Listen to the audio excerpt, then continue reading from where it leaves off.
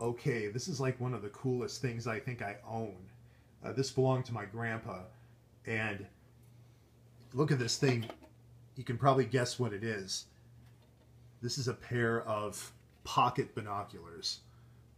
Like it's actually meant to, to be carried around in your pocket, and you pop the thing open and the lenses come out, and you, you actually look you look at the printing on the front here. It says coated lens, and it says made in Japan. Wow. This was back. The funny thing about that is that this was back when made in Japan was not necessarily a good thing. Yeah, like it was like China. It was like Yeah, like it wasn't until like maybe the late seventies that Japan started really making good shit. You know, Yeah. like really like like Sony. Yeah. Like everything Sony I've ever owned has been just immaculate. yeah, Like I have a stereo that I bought in 2012 that's like that works perfectly still. Yeah. I have a uh, uh, a Sony Dream Machine clock radio from Yeah. the late 80s that still works perfectly. It still looks like new. Everything on it still works perfectly, and it's almost 35 years old. yeah. To me, the thing with Sony, what really jettisoned Japan and Sony, would be the Nintendo, the original NES, Yeah. and then also um, for Sony, the Walkman.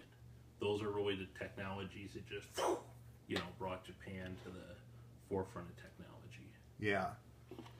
But this was back in the, I'm guessing 1960s, just by the looks of this. I think it'd be pretty accurate to guess that, that these were made in the 60s. They have a cool kind of steampunk look to Yeah, them. yeah, If the only thing the, is that the colors are off, like the, the, the metal, if the metal was like brass and the this black part were like some kind of leather or something, it would look, it would be like the coolest looking steampunk thing and it would be like it would be like real steampunk Yeah. not like hipster steampunk i mean this looks like this would this looks like something that could really exist because it did really exist yeah. but um i'll pop this thing open and i'll show you how it you see that Oh wow. they just pop open now you can tell i mean this says apex there these things are flimsy i mean like Yeah. i don't want to i don't want to give the impression that they're like that they're high technology because they're not. And i actually don't like opening this up too much because i feel like every time i open it up it wears them out a little bit Yeah. more. Um it, it- like and then closing it you have to push this thing and it closes. And and they're a little bit of a gimmick because the magnification on these are are pretty weak. They're like 3x or 5x maximum. So you don't really get very much magnification. They're really more like a conversation piece They look badass. Like they look like some sort of like spy or FBI guys, like secret binoculars. they are just really fucking cool looking and uh yeah i wish they were better built because they're so they're, the concept is so cool and they'd be they'd be handy like if you um if there was something like just out of your sight Yeah. like if there was a sign or something that you're you can almost read but you can't you know? Yeah. then you could whip these out and then you could read the sign. It would give, give you just enough mag- magnification that you could read the sign. But um yeah so and then i'll you push that they snap back shut. I have to make sure that they snap shut in the right way because like